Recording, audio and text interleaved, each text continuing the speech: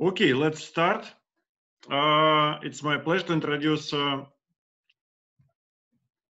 Sam Grushevsky from uh, uh, Stony Brook University in the United States, and Sam will talk about geometry of moduli spaces of cubic threefolds. Uh, thank you, Sam. So thank you for having me. Thank you all for joining. So the way I see the screen, I do see the chat. So in principle, I might be able to see your questions in chat. But since I am using this setup to teach calculus and nobody answers except in chat, I would much prefer if you actually unmute yourselves and ask verbally. Okay, so Sam, if, if you wish, I can actually interrupt you and read questions. It's up no, it's you. okay. But I, mean, I hopefully will read them, but I would prefer to actually see people speaking if possible. Mm-hmm. Uh, this is Zoom, so you know at some point I might lose internet connection. You might stop seeing me or stop hearing me.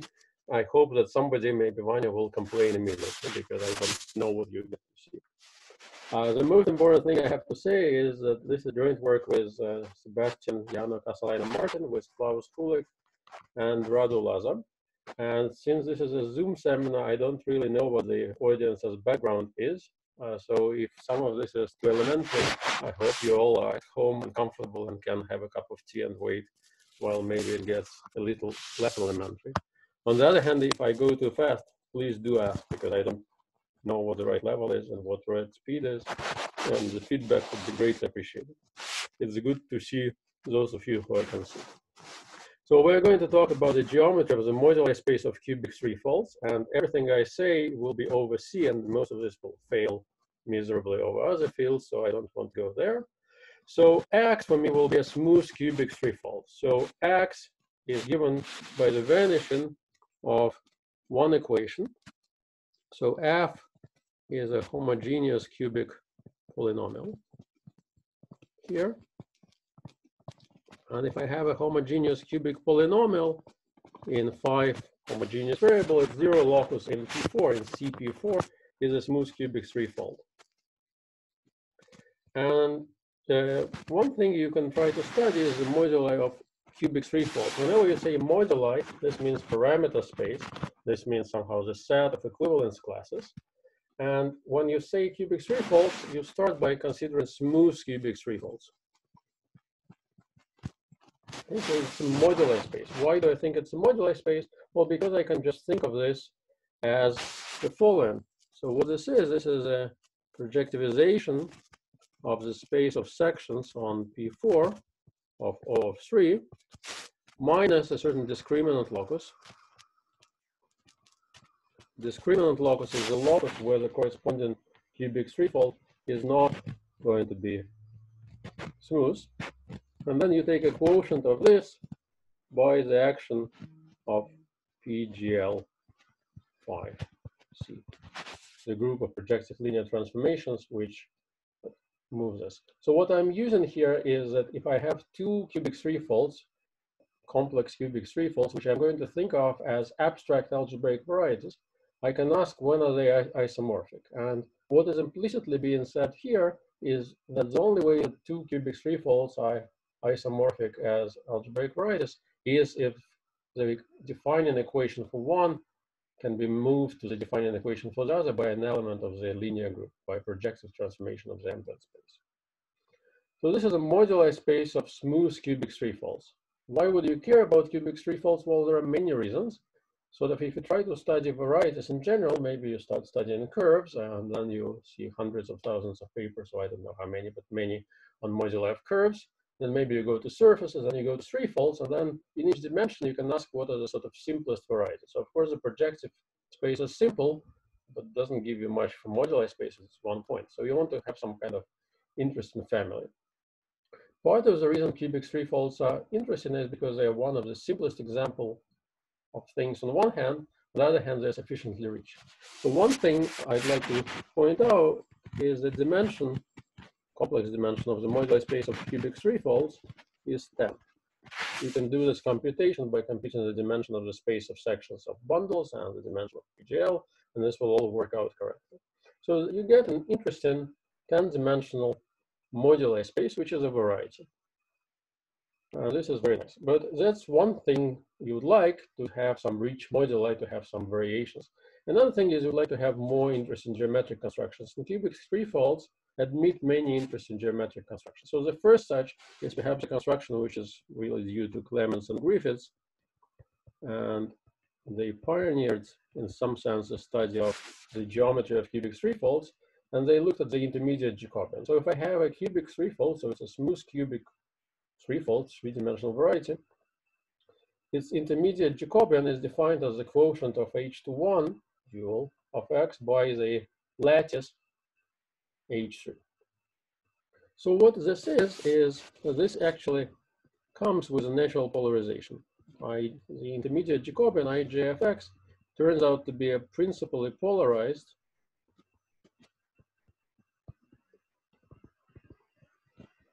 abelian fivefold. I'm used to denoting the modular principally polarized abelian varieties by A. So this uh, intermediate Jacobian is an element of A5. I won't tell you in detail what the polarization is, but there is a natural polarization. And uh, there is maybe something interesting about this polarization. So the polarization here maybe is called theta. So theta is the polarization divisor here. And the uh, point zero, or there is uh, a singular point of theta. So there is only one singular point of this theta divisor. And the multiplicity of this singular point happens to be equal to three. And if you take the projectivized tangent cone to the theta divisor, sorry, at this point, you're going to recover the cubic threefold you started from. This is far from obvious, requires an explicit description of how to actually construct the intermediate Jacobian of a cubic threefold.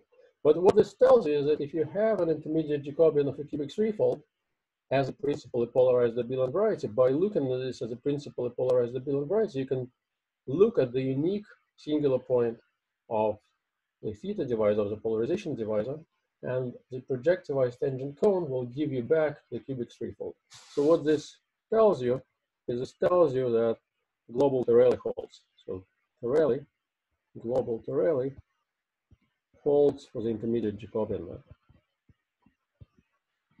Which is to say that the moduli space of smooth cubic threefolds is embedded in the moduli space of five-dimensional principally polarized abelian varieties by the intermediate Jacobian map. That's what this means.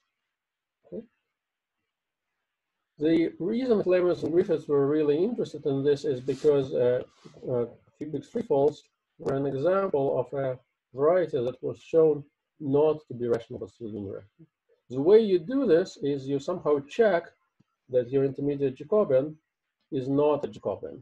For a generic cubic threefold, the intermediate Jacobian of this cubic threefold is not a Jacobian. And this is the main result of Clemens and Griffiths. But this is not the direction I want to go. I want to go in a different direction.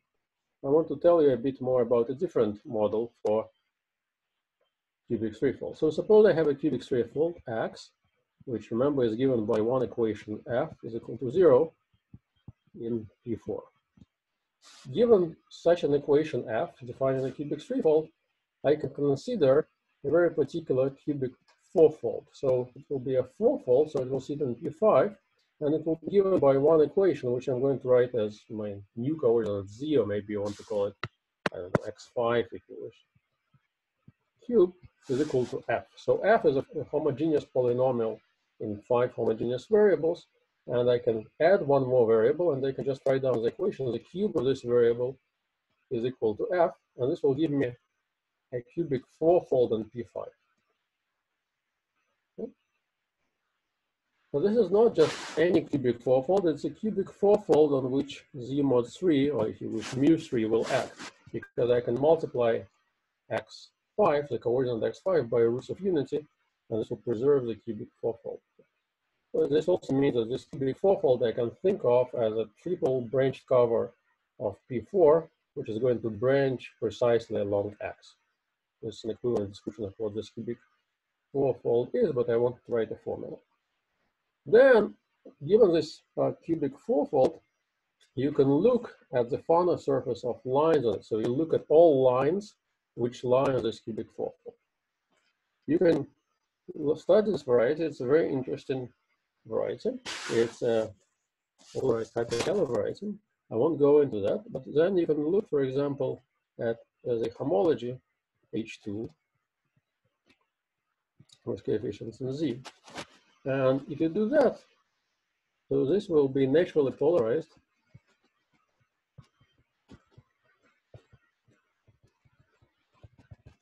So as a result, what you're going to get is you're going to get a map, you get a period map.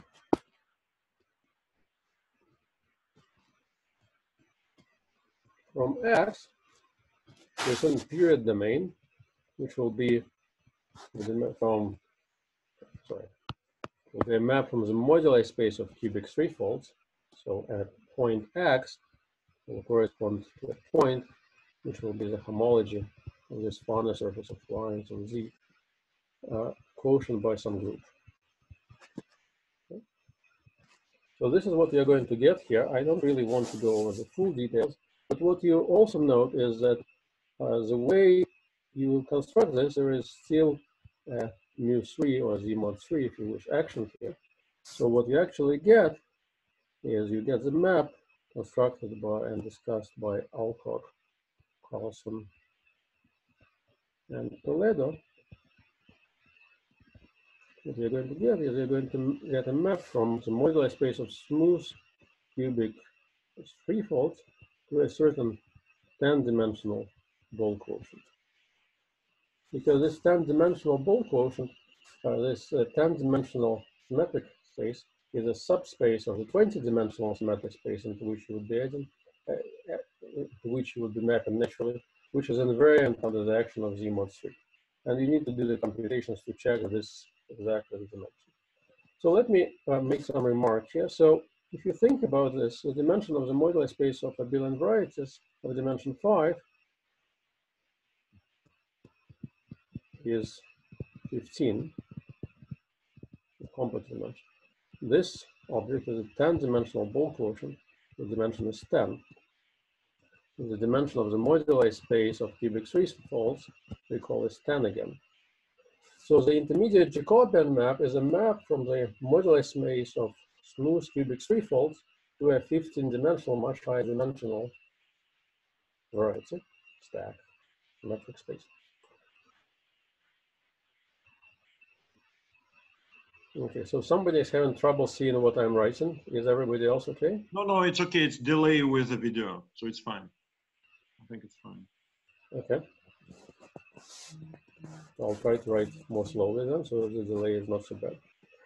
If you look at this uh, Allcock Carlson Toledo period map, though, this is a map from a 10-dimensional moduli space of smooth cubic three folds to a 10-dimensional target. And you can, of course, ask whether this map is generically injective or indeed injective. And part of the results of Allcock, Carlson, and Toledo is to say that this is indeed an injective map. So this is an embedding again. So this is an embedding of something 10-dimensional into something 10-dimensional. Here and both are irreducible. So this means they're birational, of course, right? And you can ask, what is the complement of the image? And we will indeed discuss this, but a little bit later. So what I want to do now is I want to discuss the issue that the moduli space M of smooth cubic threefolds is not compact. If you go back, you see that, of course, what is the moduli of smooth cubic threefolds? It's a projectivization of the space of uh, cubic equations that define a smooth subvariety quotient by the action of PGL. But this condition that you define a smooth subvariety is an open condition, but the complement is some discriminant focus. So what this means is that the one, the first natural compactification you can consider is the compactification uh, via the GIT the geometric invariant theory. So there is a compactification of, of M given by GIT. So what you commonly write is you write this is the projectivization of H naught E4 O3 here it's quotient by PGL. I will have much more to say about how this actually works. I won't review the geometric invariant theory for you, but I'll describe the geometry of this in more detail as we go along. But that's somehow the first uh, compactification you are naturally going to take probably for moduli of any hypersurfaces in any dimension of any degree, because this is always a situation where you can take the GIT compact. So what does this compactification do? So geometric invariant theory tells you that you're going to add some other threefolds, which are not necessarily smooth, but which are stable and semi-stable. And then uh, you will add the orbits of PGL5 action on such things. So you will add a collection of points. And you will see what this collection of points is, which is fine. And you will sort of know what they correspond to, but there is not going to be any reasonable universal family over this uh, GIT compactification because the points that you will add will correspond to some degenerations, but you will somehow be adding only the deepest points of some degeneration, so you can have some uh, points are semi-stable, some are strictly semi-stable, you'll get polystable points, so somehow there will not be a universal family. And also the GIT compactification in general is going to be highly singular, and that's what we're going to see in this example as well, as we'll discuss. So this is a very natural compactification, but in some sense, maybe not necessarily the best compactification. Another thing you can do is you can take the Bailey-Borel compactification of a ball quotient.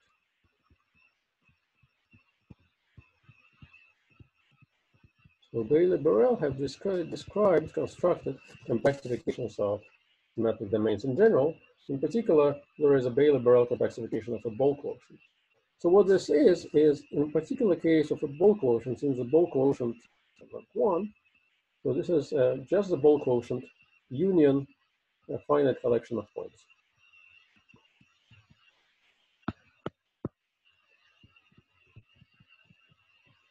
So all you have to do is just add a bunch of points in this particular situation.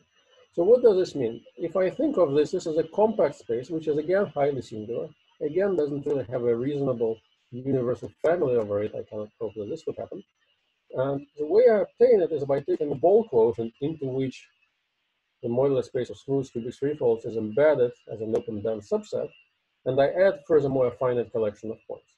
So this is again a complexity. I can think of this Bailey-Borel compactification of the ball quotient model of the moduli space of cubic threefolds as a compactification of the moduli space of cubic threefolds. And that's another compactification. Let me now try to explain to you why something difficult is going to happen. So I want to give an example. And this is somehow the perhaps most interesting example. Example of a singular but semi-stable cubic.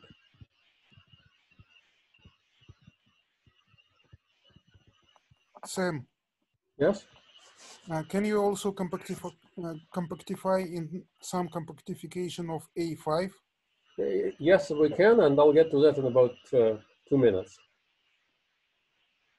So yes, uh, so you can also, so I, I, sorry, I'm sorry I couldn't recognize the voice, but I was asked uh, the following question. So I can have an, I have an embedding of the modular space of cubic threefolds into A5. A5 is not compact, but there are many compactifications of that that I will mention in a second. And I can consider a compactification of the modular space of cubic threefolds by compactifying the image of this map, by taking the closure of the image of this map in a suitable compactification of A5. And we'll do precisely that in a second, and I'll discuss that also.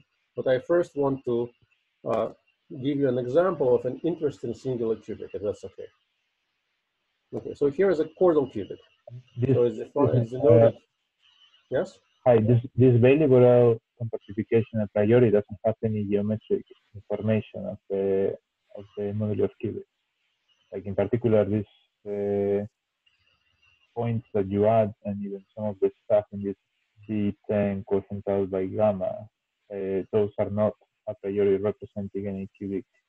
So a priori, if you just have a symmetric domain of some of D10 mod gamma and you just add points, they correspond to some kind of degeneration of Hodge structures, if you wish, or something like that. If you're thinking about it this way, it doesn't allow you to say anything reasonable about a modular interpretation of the cusps. So this finite collection of points you're adding as a Bailey-Borel compactification normally called cusps. And it doesn't give you a, a, way a priori to interpret these cusps in terms of uh, some degenerations of cubic threefolds. And that's exactly the direction I'm going. So the, the direction I'm going is I'm trying to, uh, we're going to try to compare these compactifications and get the better compactification and get some idea of what the geometry of this is and then get some properties. So a priori, if you just take a Bailey-Borel compactification, there is no reasonable family over it. So uh, for the case of abelian varieties, perhaps, so the points and the uh, compactifications, Bailey-Borel, also called Satake in this case, of the compactification of the modular space for abelian varieties, the points on the boundary correspond to abelian varieties of lower dimension, which means there is no way you're going to be able to have any reasonable family where the fibers are going to drop dimension. That doesn't happen. So a priori, this is sort of a, an arithmetic compactification. It comes from some arithmetic properties of group actions, not geometric. Okay? Again, I, hope I answered your question. Please feel to ask uh, yeah, great, thanks. Okay, so let me now give you an example. So here is a psi, which is a chordal cubic. I hope my handwriting remains readable. If not, you should complain. So I've just written down an equation, very simple. It's a determinant of a three by three matrix of linear forms.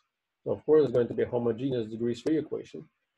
Why is it called a chordal cubic? Well, because uh, even though I've written it this way, there is a different way to do it, uh, to think about it. So this is the space of secants secants of rational normal curve. So the rational normal curve is when you map P1 by, well, I'll write the non-homogeneous covariance because I'm running out of space. But if you map P1 this way into P4, this is a so-called rational normal curve. So this is a curve that does something interesting in P4, and then you can take all secants through that curve. So this means you take an arbitrary pair of points on this curve and you draw a line through that. So if you were doing this, what you're going to get is you're going to get a threefold, right? Because the, the secant variety of a curve you expect to be a threefold because you can pick an arbitrary pair of points on the curve, so that's two dimensions, and then there is a line to this curve, there is a third direction dimension along this line. So this means you're going to get a threefold. I claim that's the threefold you get. What this means is that this threefold is going to be highly singular because of course this threefold is going to contain the rational normal curve that you started with. And for every point, there are many secants. So you can easily convince yourself that the rational normal curve will be singular on the secant threefold or the chordal cubic. And in fact, uh, it is only way that the chordal cubic is singular. So the singular locus of the chordal cubic is the rational normal curve embedded in it. So notice this is threefold, which is singular along the curve. So these are not isolated singularities. But you can check, and this is a, an easy enough di direct computation, that this is a semi-stable cubic in the sense of GIT. So this is to say that there will be a point in the modular space with GIT compactification. There will be a point corresponding to the chordal cubic, which I will of course denote by the side. Okay. So this is to convince you that there are interesting singular cubics that you will want to consider to do anything. Okay. So the study here, I, I, I, remember that we need to get to A5, but there is the first theorem. Uh, so you have two compactifications, the GIT compactification and the Bailey-Borel compactification of the ball quotient. So there's two compactifications of the same space. So they are birational, and you would like to know how to resolve this birational map. So the theorem of Casalaina, Martin, and Laza says that you can resolve this rational map birational map. So I'll, I'll stop writing dimension 10. So I'll just write B mod gamma, and I will never tell you what gamma is, but this is the ball quotient that I have. Okay? So the theorem of Casalaina, Martin, and Laza is that if you want to resolve the birational map from the GIT compactification, to the Bailey-Borel compactification of the ball quotient model of the moduli of cubic threefolds, then the theorem is the only thing you need to do is you need to blow one point in the GIT compactification, which is this chordal cubic, which is really why I wanted to introduce this chordal cubic. This is far from obvious, right? And this is some kind of coincidence. I haven't told you many of the details that go into this, which are really hundreds of pages of computations and work and interesting results by many people. Uh, in, in particular, you need to know what is the complement of the Euler space of smooth cubic threefolds, both within the GIT compactification and within the ball quotient model. And this was done by Allcock, Carlson, in combinations and by work of many other people. But what you can see so far is in fact that the GIT compactification of the modular space of smooth cubic threefolds and the Bailey-Borel compactification of this uh, ball quotient model are not so far away. You can get from one to the other by just blowing up one point. So you blow up a point on the GIT compactification, and then there's a morphism to the Bailey-Borel compactification of the ball quotient model. And I will tell you moreover. Uh, uh, Yeah. and uh, what is the exceptional divisor of this blow up? So this is a small modification. So the only thing that actually happens here is I have a curve that maps to a point. Uh, no, no, no. I, I was asking about the blow up of this special uh, cubic. So, okay, so the question is, if I blow this up, can I identify this exceptional uh, divisor somehow geometrically? Here is your, and you have anticipated my next line, so that's excellent. So uh, this is about 12 points on P1. So let's call F psi the equation of the chordal cubic. And I can take F psi plus epsilon times some other f, right? And if I perturb the chordal cubic, if you believe me, which you have to, because I'm not going to prove it to you, that this is semi-stable, I can perturb it uh, in any way, and this will be uh, still a point in the MGIT. So suppose this is my cubic. Suppose I want to consider a cubic threefold, which is a small perturbation of the chordal cubic. So suppose this is going to be smooth. Generically, it's going to be smooth. So there's this equation. So this is going to be some smooth cubic x. And I would like to identify such cubic x with some other geometric information. This would allow me to describe the exceptional divisor. Of course, I won't do everything. But what you can do is you can, uh, you have this uh, rational normal curve, let's call it C. Okay. And I can take the rational normal curve and I can intersect it with this cubic f. Okay. So what is this going to be? So this is a degree four curve intersected with a cubic. So this is going to be 12 points on the rational normal curve. Okay. And in fact, you can see which will determine, and I'm using the word determine loosely, I don't want to get into the details of calculus and deformations and so on. So this means if you want to tell me a small infinitesimal deformation of the chordal cubic, then all you have to tell me is I've added some cubic, and you should tell me how it intersects the rational normal curve. So this means that the exceptional divisor, the exceptional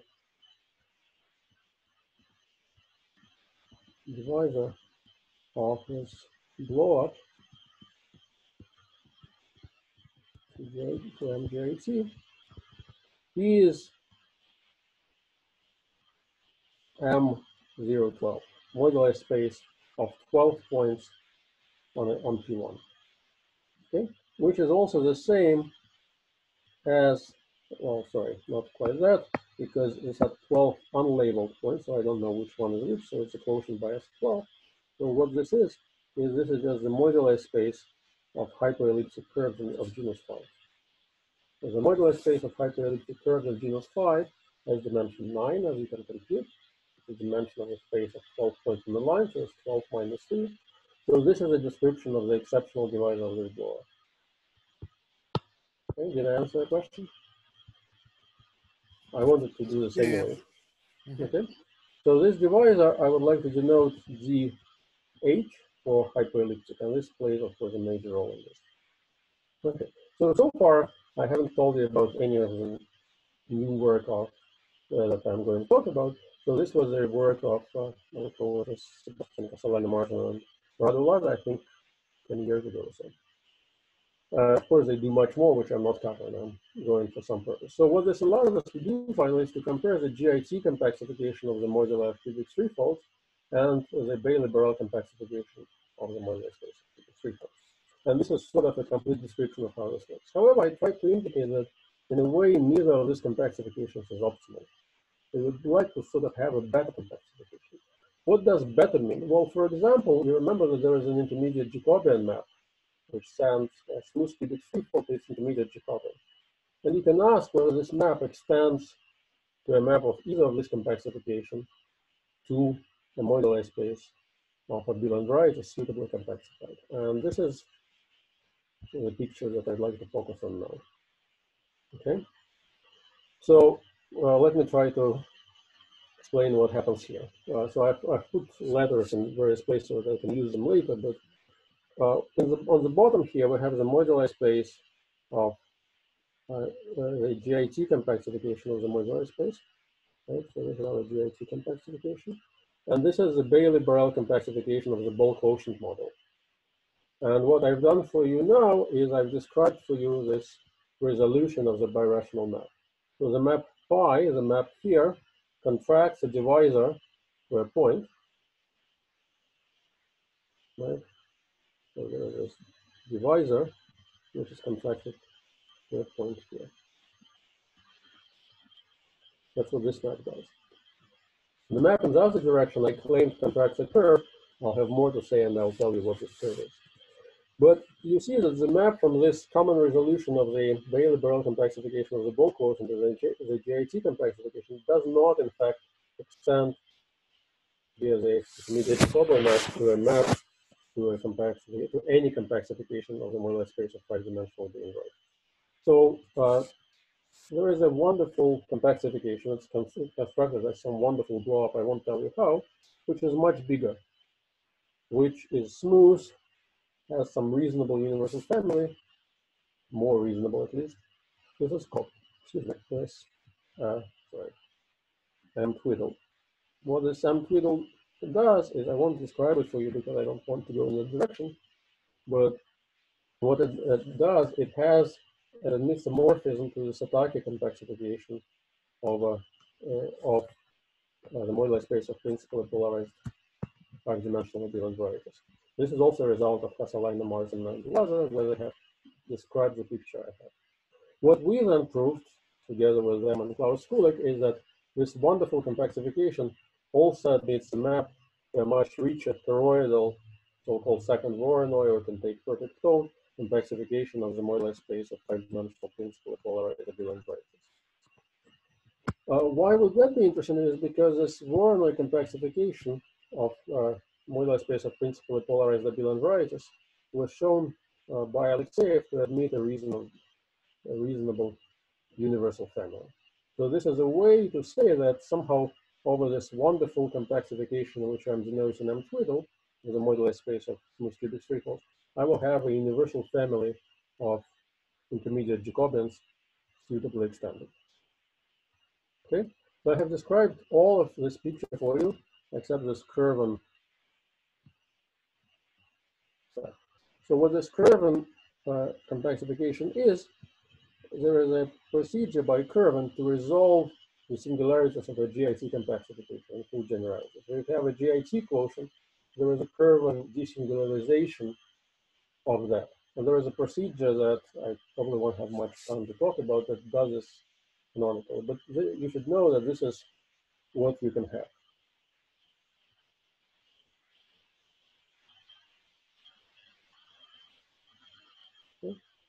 So there was a question in chat by Prakash, which is either specifically given or not, and I'm not sure I know uh, that I understand what it means. Okay. So the Kirwan well, procedure is a desingularization, which somehow takes uh, the strictly semi-stable loci of some sort and blows them up. in, a suitable way. Okay, I will describe what this is. But the point of this curve and This chordal, complexification, this chordal, cubic is uh, strictly polystable. could you repeat please? I couldn't hear. Uh, is the chordal cubic the stricta, uh, strictly polystable or strictly semi-stable? So the curve and compactification is a, a way to desingularize the GIT compactification. There is a well-defined procedure. You start with a GIT problem, you get your GIT compactification, and there is a canonically given to you Kirwan desingularization. Which Yeah, of so course, will, not, it will not touch the locus of smooth cubics. It will modify in some way, which I'm going to discuss not at much length because I'll run out of time, uh, which modifies the loci in the GIT compactifications that correspond to semi to strictly semi-stable cubics. I hope I've So This answered. theta is strictly semi-stable in particular, is the first step of the Kirwan. I'm having lots of trouble hearing you, so maybe you could type the question in chat and then eventually I'll answer it. But I wanted to go on, if you don't mind, to the main theorem Uh, The, want to discuss here. the, an- the answer is yes, it is a polystable point. Okay, so thank you, Klaus. So Klaus apparently could hear the question better than I could. And I'm sure that Klaus answered it correctly. So this was Klaus. Okay.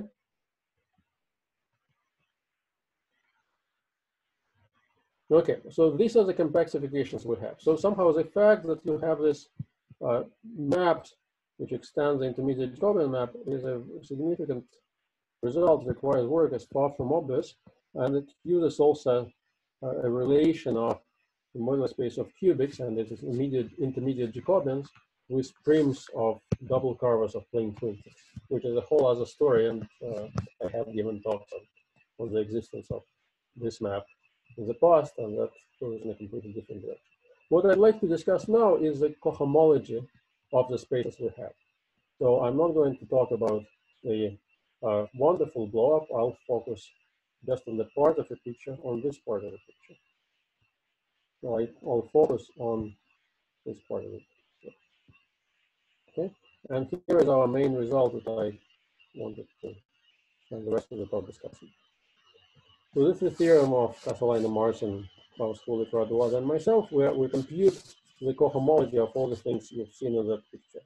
I have to preface this by saying that when I say homology, I should be careful because the spaces are singular. And uh, what this means is I cannot really, well, I can consider homology, but it seems perhaps less natural to think about homology and more natural to think about intersection homology. So what do we have in this picture? So let's go back. So this GIT compactification is singular.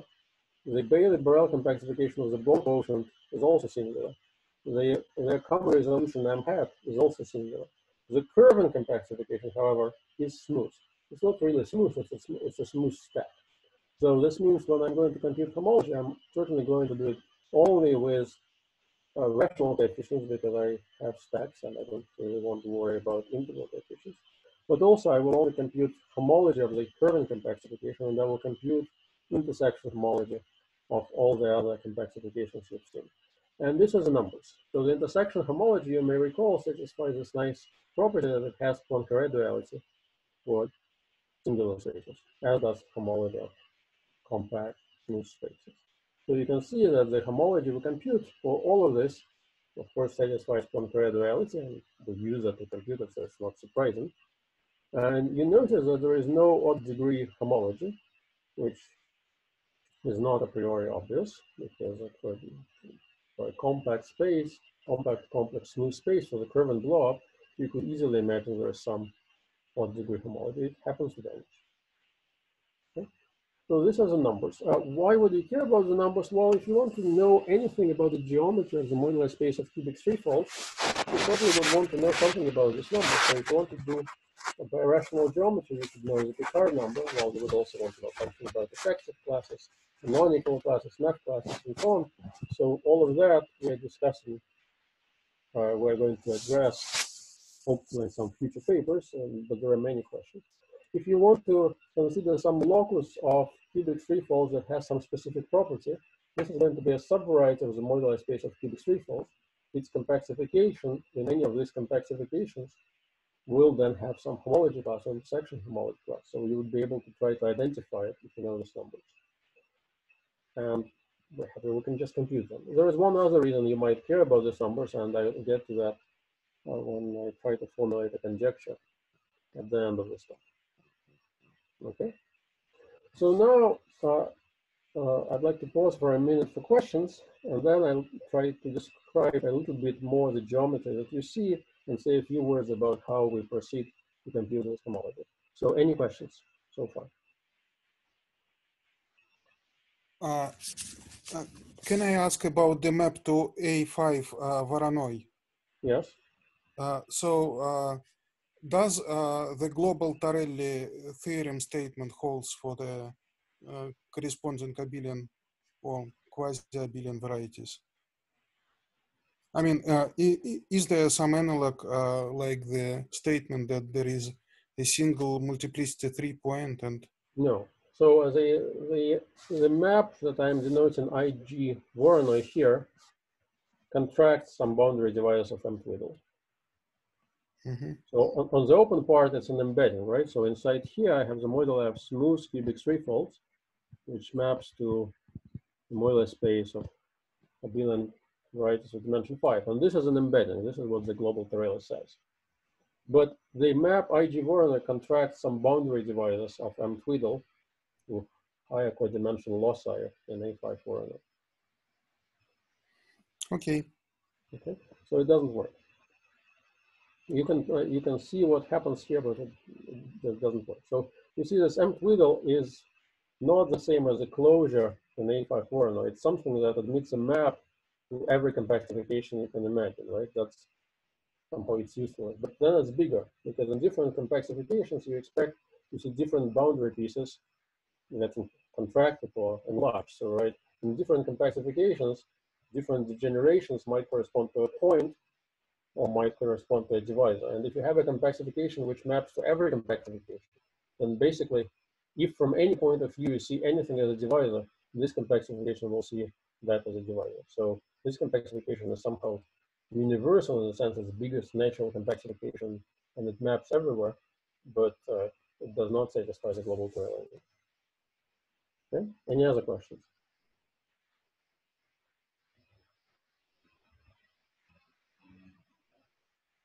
Okay, so let me now try to describe a little bit uh, what the structure looks like. So uh, the point is uh, to try to describe, I'd like to describe for you a little uh, what are the points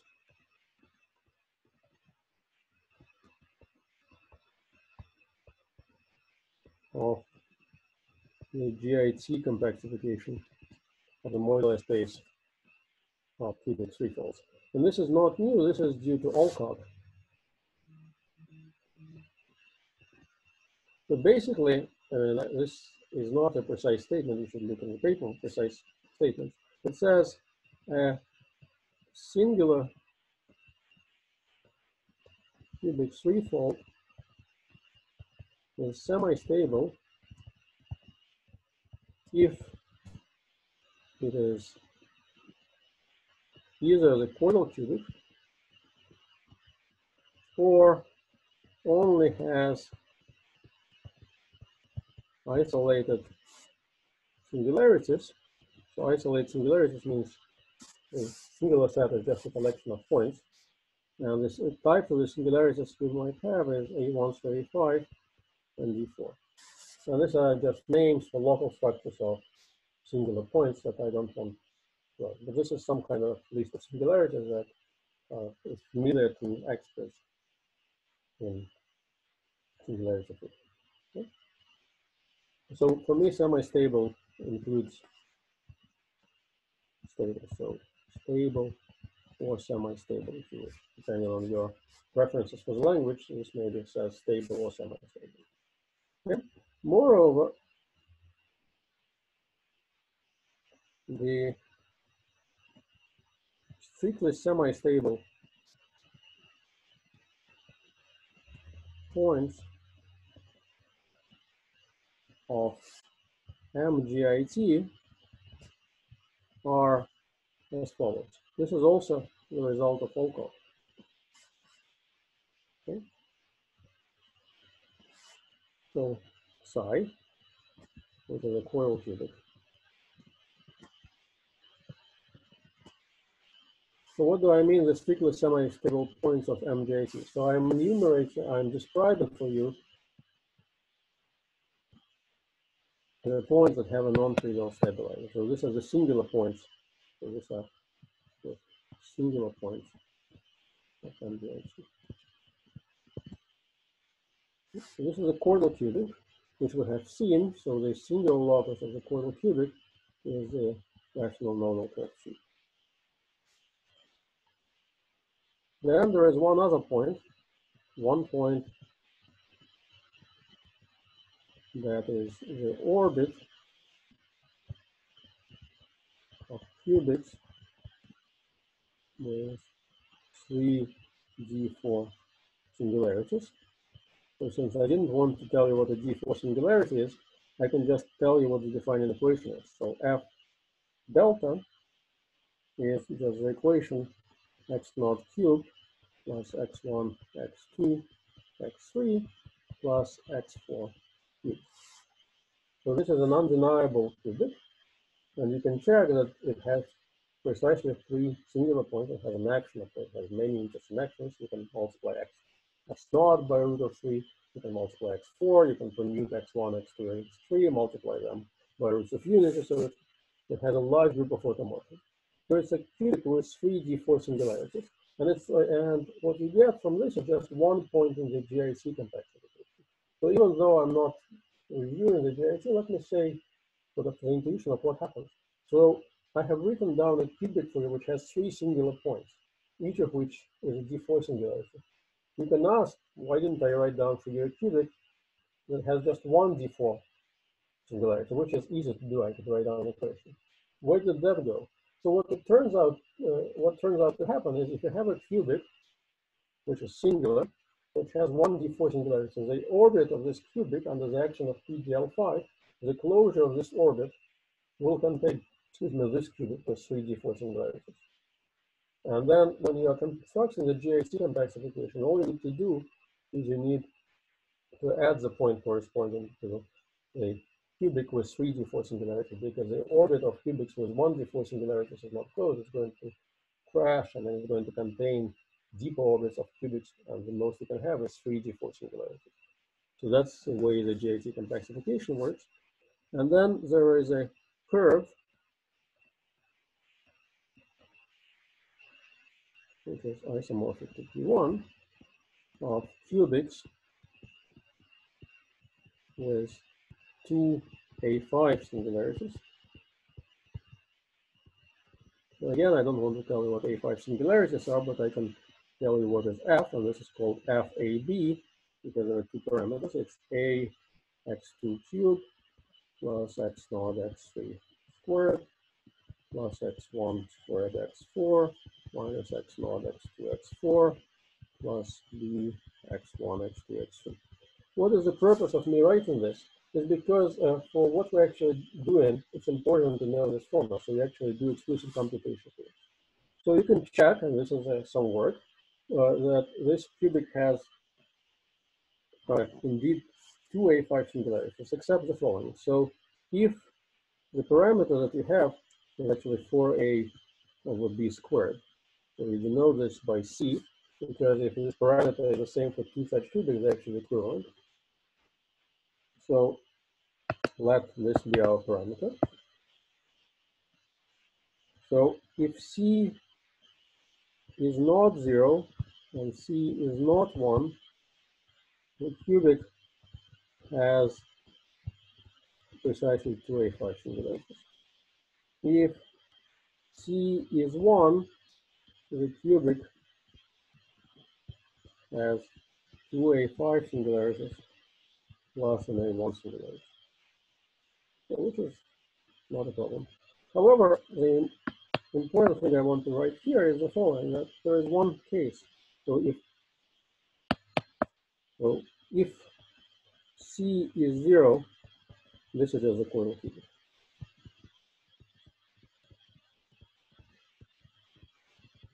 So if C is zero, you can see what this means. Of course, that this term is not there.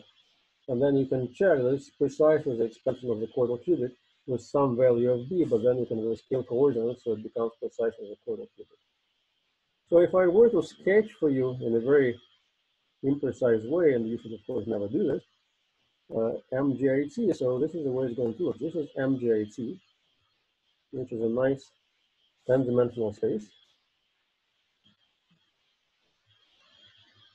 Uh, yes. Uh,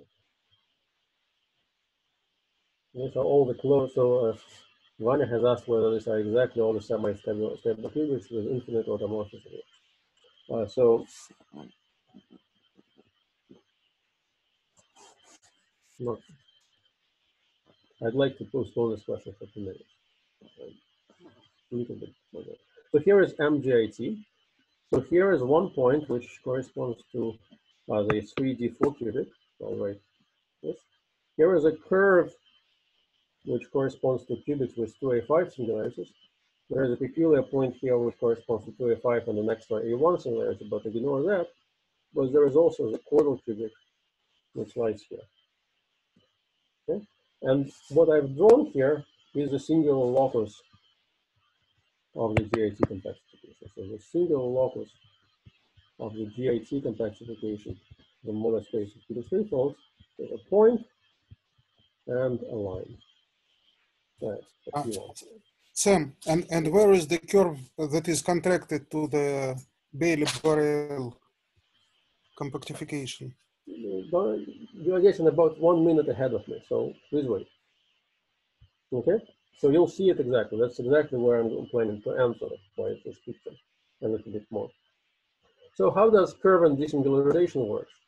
How does Kirwan desingularization work? It tells you that the way you think of this is this delta, I mean, this is one point in the GIT, but this is the entire, this corresponds to the entire orbit of cubics with a 3D4 singularity.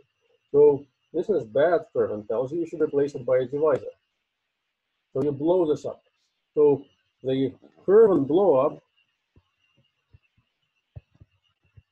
the Kirwan desingularization is essentially, you would like to say that you're going to blow up the point and you're going to blow up the curve, but you also want to blow up the chordal cubics. And then you see that uh, if you try to do it naively, first of all, you should be doing this equivariantly because you probably want to do some equivariant blow up before you take the action by PGL5. But you should also be very careful in which order you do a blow up because you really want to blow up a point lying on a curve, right? And you better know whether you first want to blow up the point and then want to blow up the strict transform of the curve or the other way around or what are you doing? So the correct procedure is in fact that you want to first blow up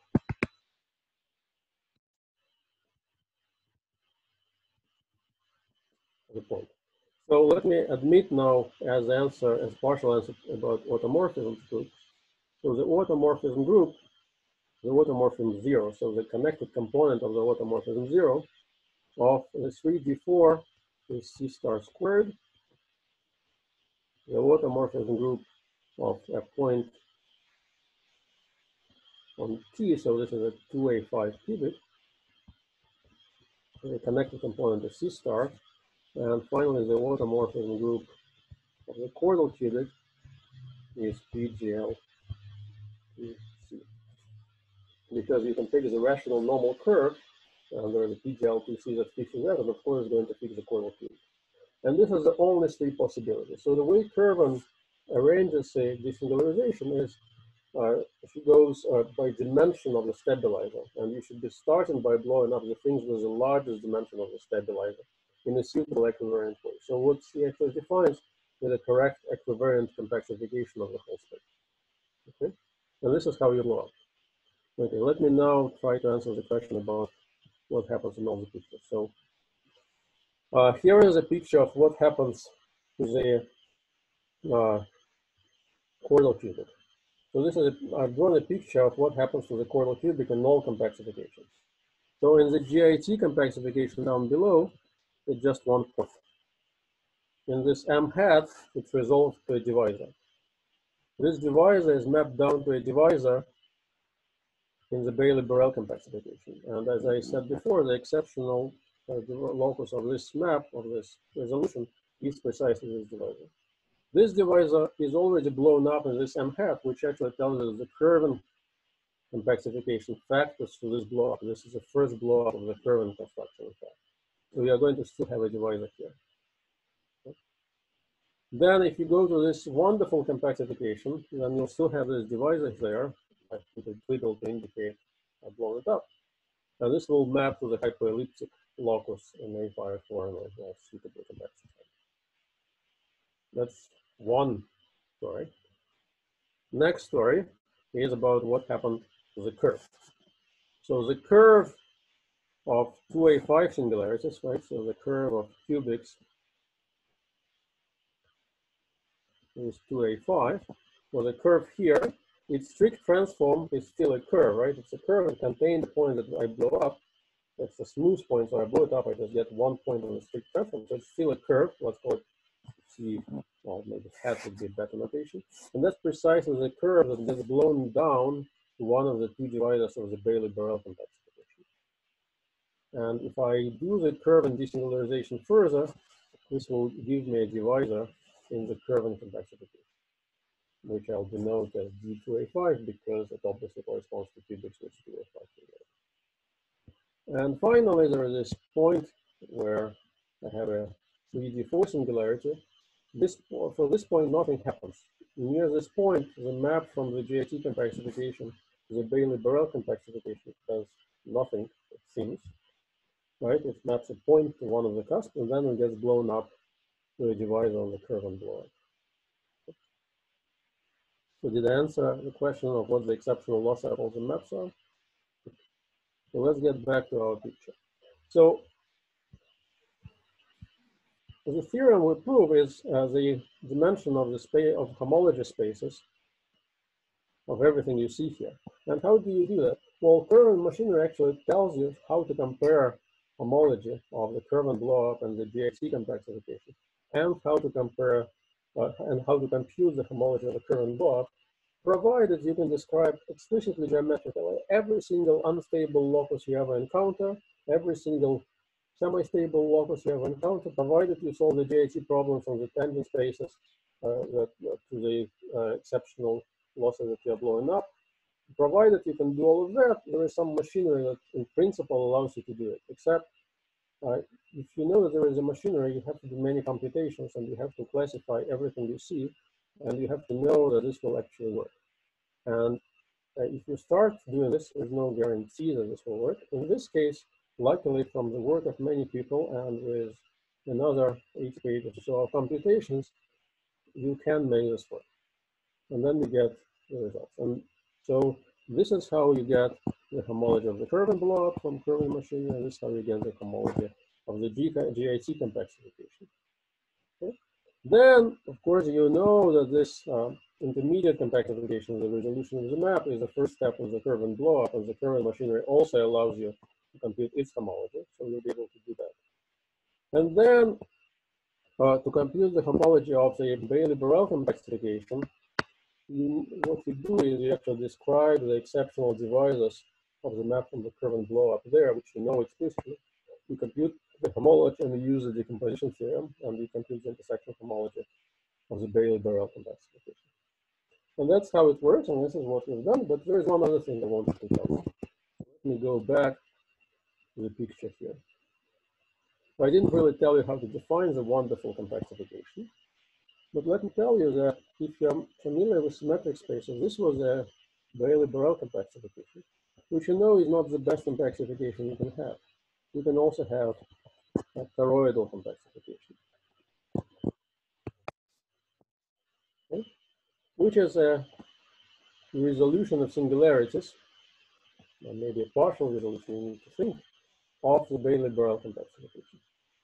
So this is a ball quotient. So a toroidal compactification is reasonably easy. So as you may have seen in the notes I've shown, this Bailey-Borel compactification has two cusps. So there are two points, which are the two points you've added to go from the ball quotient to the Bailey-Borel compactification.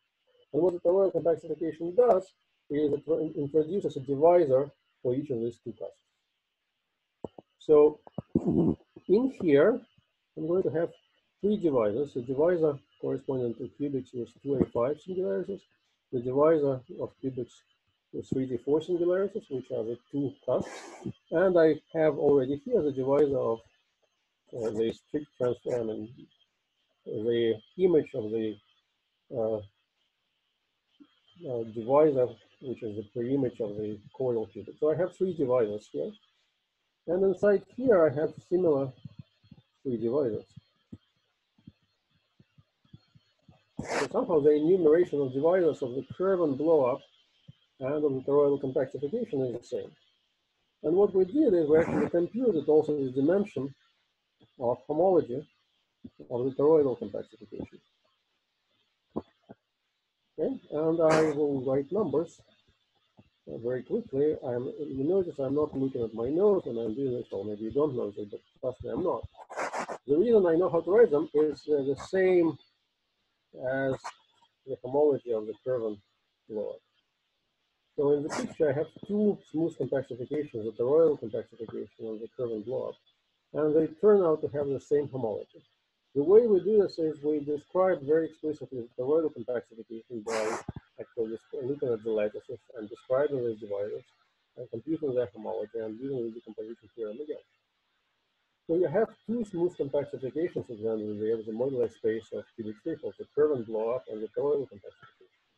And they turn out to have the same homology. And of course, you would want to know whether they actually have the same compactification. And yes, we'd like to conjecture that this is maybe the case, but at some point when we saw this, we were very confident of this conjecture.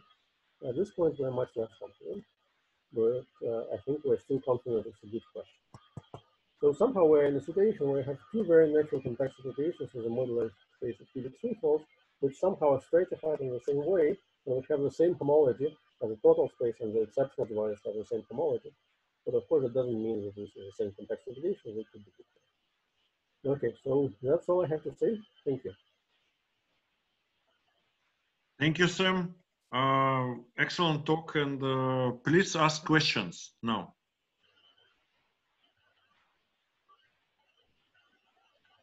Uh, uh, can I ask you uh, uh, what is the exceptional divisor uh, over uh, the point delta in the Kirwan resolution?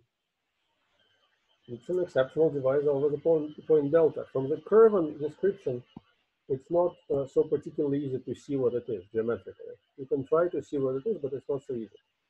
I can tell you more easily in principle what the exceptional divisor is uh, over the point delta uh, in the toroidal compactification of the ball quotient. So if you think about the toroidal compactification of the ball quotient, then the divisor delta will be some product of elliptic curves, of nine elliptic curves, nine special elliptic curves where, which have a Z mod 3 action, quotient by some group. And uh, we have described what this is. And that's what the structure of the divisor is. From the Kirwan picture, you also see some description, but it's not quite as explicit. Uh-huh. Any other questions? And what about the exceptional divisor over the curve tau? So again, in the toroidal compactification, it's some product of elliptic curves quotient by some group, which we ex described explicitly. From the point of view of Kirwan um, computation, you don't really see the divisors this way. What you're doing is you have this uh, in P34, in the space of all cubic equations, you consider the locus of those cubics that have a 2a5 singularity. That's some high dimensional locus. I forget the dimension. In the paper. And then you're describing the normal bundle to that. And then uh, you're taking the quotient, I mean, you're taking the GIT quotient of the action of the stabilizer, which is the star, from this normal bundle. So you somehow get a description of this as some uh, GIT quotient, which you can work through, but you start by uh, asking what is the whole uh, space of cubics with a 2a5 singularity. So it seems possible to match up the geometric description and see that this is also the product of elliptic curves quotient by a group, but I'm not sure we have done it fully. Mm -hmm. Okay, thank you. And you said this only works over C. Uh, can't you put this in families and descend it as some more diagram of stacks over Q, maybe? Maybe, I have no idea, right? Many of the techniques that go here are C specific. So the, uh, the uh, analysis of stability and semi-stability of cubics, I only know of over C. The GIT of other fields, um, are some issues you may worry about. Uh, Bailey-Borel compactifications, of course, work over other bases as well. I don't know. I mean, so our computations for all of this work explicitly in local covariance over C. And I don't, I'm not sure that Kirwan's machinery works over other fields. I'm unaware of any statements to that effect, but I may be unaware. Thank you. Sam, I have small question. So, for example, cubic surface has two siblings, like uh, del Pezzo of degree one and del Pezzo of degree two. So cubic threefold also has two siblings. Uh, del Pezzo of threefold of degree one and del Pezzo of degree two. Double cover of P3 ramified and quartic and the Veron double cone of the Veronese cone. Yeah. Anything similar for them? Good question. Uh, let's start with del Pezzo surfaces. So, I mean, I told you the story for cubic threefolds. There is a similar story for cubic surfaces, of course, which is simpler. And the results we get are the same. I mean, sorry, we compute the homology. Um, most of this was done, but again, there is a toroidal compactification. Uh, the Kirwan and the homologists agree, and we again don't know whether they agree. Uh, whether you can do this for del Pezzos, I'm not sure. So one, this is heavily GIT dependent, and this depends on knowing the GIT geometry fully, sort of explicitly. You need to describe all the semi-stable loci explicitly and classify them and classify stabilizers and all that. And this works for cubic surfaces, cubic threefolds. I don't know how much can be said for del Pezzos. I have to admit I haven't thought about this. I don't know, maybe Klaus has some comments or maybe some other of my collaborators have comments. I haven't thought about this. So our next thought was, well, certainly we can prove that these two compactifications are the same. Let's do that. And then that hasn't yet happened. So we were thinking in a different direction. But good question. More questions? The the GIT compactification of cubic threefolds coincides with the K-stable, uh, K, sorry, K-polystable compactification of, of K-stable threefolds, the one that's meeting Kähler-Einstein metrics. Hmm? Uh, is there a relation to this? So if I heard the question correctly, which I'm not fully sure I, I did, uh, so I mean, there is also a, uh, work by Liu and Xu uh, who described a K-stable, uh, the compactification of the moduli space cubic threefolds from a point of view of K-stability. And it coincides with the GIT, I think, right? Mm -hmm. But then uh, I don't know how to approach this. So uh, the K-stability machinery doesn't seem to give you a way to compute homology, right? And somehow their result, I think, is extremely interesting. I'm not quite sure how to relate it to what we've been doing here. So yes, I'm very glad that we have computed the, the homology of the K-stable compactification of the moduli of cubic threefolds. I could have named one of that, one of the spaces that, but I don't really know how to marry this machinery with the machinery we're using. Okay. Uh, if there are no more questions, let's thank uh, Sam again uh, for a beautiful talk. And uh, Sam, thank you very much. Thank you. Thank you for listening. Thank you for coming. You can actually uh, clap and uh, Zoom like this. Yeah. Okay. Thank you. And I'll record the, the video and I'll upload it in an hour, in few half an hour. Yeah. Thank you. Bye. Thank you. Thanks, Sam. Thank you, Manu.